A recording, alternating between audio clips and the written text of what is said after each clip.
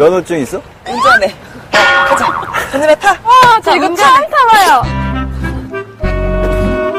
이상한데? 아, 이거 아이돌 매니저가, 아이돌이 매니저하는 프로그램이에요?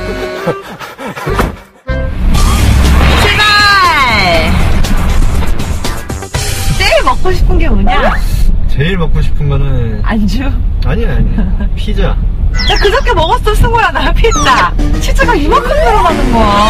바로 와서 따뜻할 때 먹어가지고. 제일 다이어트 하는데 도움 안 되는 애가 누구냐? 미르, 미르.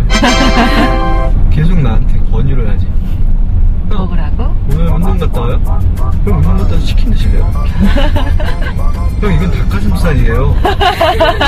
양념 흥건이 묻어있는 거를. 양념 닭가슴살이라고. 승우이가 제일 방해를 많이 하는구나. 지호 같은 경우는, 아, 엄마야, 엄마. 떨어졌다 해서 약간 힘이 갑자기 딱 올라와. 어. 그래서 아, 먹고 싶었던 것도 그래. 참게 돼. 참을 수 있어. 채명이가. 형 이건 닭가슴살이에요.